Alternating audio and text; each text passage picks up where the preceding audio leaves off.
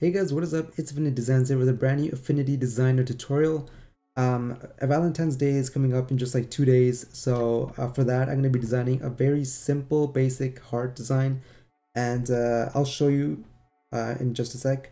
But this is going to be pretty much the heart that we're designing. It's just three uh, layers pretty much. If you open up this group, uh, you can see that there's two rounded rectangles and one rectangle and uh, it'll only take a couple minutes to design so let's go ahead and hide this. The first thing I want you guys to do is enable snapping. That's very important because we're going to be using the grid to snap um, the rectangles. If you pull down this drop down menu you'll see a bunch of options for snapping.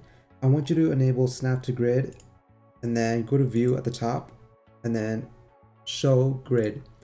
Now we want to zoom in so hold down Z on your keyboard and click and drag inward until we're zoomed in like this um, now to get the heart started, let's go to the rectangle tool and just drag out a, a, rectangle. The size doesn't matter because we're going to be entering the values manually. So if you look to the bottom right corner, you'll see a panel or uh, in this software, it's called Studio. So for the width, we're going to enter a value of 80 pixels. And for the height, we're going to enter 50 pixels like that. And we could just drag it and um, drag it to one corner and then select that rectangle, control C and control V to copy that. And uh, we're gonna uh, go to one of the edges, hold shift and drag to the right so that we're rotating it uh, 90 degrees. Click and drag to uh, the right side of the first rectangle until it snaps to the corner like that. And as you can see, we can uh, kind of see the, the heart forming, but uh, we want to round out the corner. So um, select the rectangle, either one of them, go to corner and select rounded instead of none. Uh, do the same thing with the other rectangle, go to rounded. Um, we can select both by holding shift and clicking on each of them.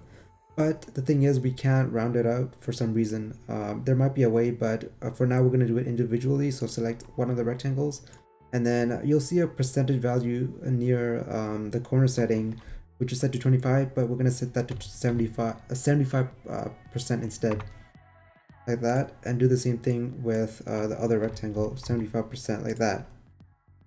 Um, I'm gonna zoom in a bit more hold down Z on your keyboard and click and drag. Um, now we want to get that pointy um, part of the heart. So let's go to the rectangle tool and uh, if I go near the bottom right corner of the heart you'll see that there's a green and a red line which is telling us that uh, we're snapping to the grid um, so let's click and drag to the left until uh, either sides of the rectangle are, are connected to the heart like that, let go. And there we go, we have the heart. So now all we gotta do is select each of the shapes and rotate it 45 degrees to the right, hold shift and click and drag so that we have straight in the heart. Um, let me zoom out and uh, select the heart and, and let me make it bigger like that. And center it. Whoops. Select all the shapes like that. And we can just snap it to the center like that. And there we go. We have a heart. So now we can just hide the grid. Uh, if you go to view um, disable show grid. And that's all we had to do. Three uh, three simple uh, shapes to form a heart so if you guys enjoyed this video and learned something new, leave a like, comment down below if you want to see something new um, in Affinity Designer or Photoshop, Illustrator. Um, leave feedback on my videos if I'm doing well, uh, what I need to improve on. And I'll see you guys next time. Peace out.